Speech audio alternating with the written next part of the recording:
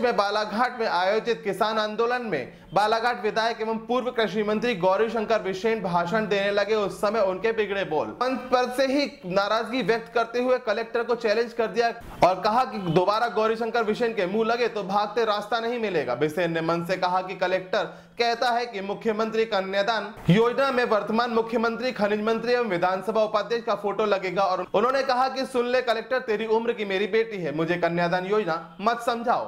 तुम्हें पता नहीं कि मुख्यमंत्री कन्यादान योजना का कानून शिवराज सिंह चौहान की सरकार ने ही बनाया था और इसकी शुरुआत बालाघाट से ही हुई थी। दरअसल नगर पालिका व क्षेत्रीय कलार समाज के संयुक्त तत्वावधान में मुख्यमंत्री कन्यादान योजना के तहत सामूहिक विवाह का आयोजन किया गया। इसके प्रचार प्रसार के लिए शहर में बैनर में पोस्टर भी लगाए गए जिसमें मुख्यमंत्री कमलनाथ की फ़ोटो न होकर पूर्व मुख्यमंत्री शिवराज सिंह चौहान व पूर्व कृषि मंत्री बालाघाट विधायक गौरीशंकर बिशेन की फ़ोटो लगी थी। इस प्रचार पर युवक कांग्रेस के कार्यवाहक प्रदेश अध्यक्ष नितिन भोज ने कलेक्टर दीपक आर्य से शिकायत कर कमलनाथ की फ़ोटो लगाने की मांग की थी। इसी के चलते सोमवार को पूर्व कृषि मंत्री भड़क पड़े।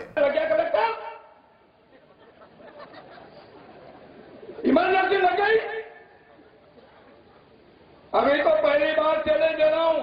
यदि हमारे मुँह लगा गौरी शंकर के मुँह लगा ना तो भागते रास्ता नहीं मिलेगी भागते रास्ता। मेरा नाम भी आपको पता है। आगे शिवरात्रि है, सोचे जाओ। हमारे कलेक्टर ने हमारे होल्डिंग क्या दिया। बोले, मुख्यमंत्री कन्यादान योजना में उनका चेहरा होना, उनका छिंदड़ा वाले का। बोले, उनका चेहरा होना लाजी वाली का। उनका चेहरा होना बैतुल वाले का, कहाँ का है पता नहीं।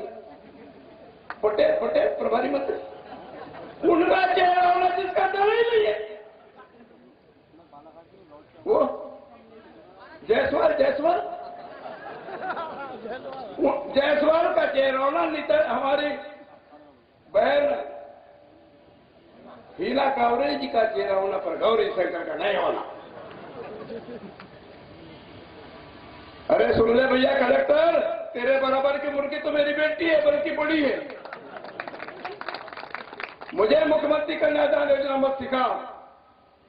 इसी स्थान पर हमारी बहन स्मृति ईरानी जी ने, बहन लता एलकर जी उपस्थित हैं, उनके साथ में उन्हें हमने बुलाया और यहाँ पर मुख्यमंत्री कन्यादान योजना का पहला विचार हुआ है, जिसको शिवराज जी सिंह सरकार ने बीजेपी की सरकार ने कानून का रूप दिया है। कानून बनाने वाले माननीय शिवराज यहाँ बैठे वो हमको बताया कि गौरी शंकर नहीं होना बाकी सब होना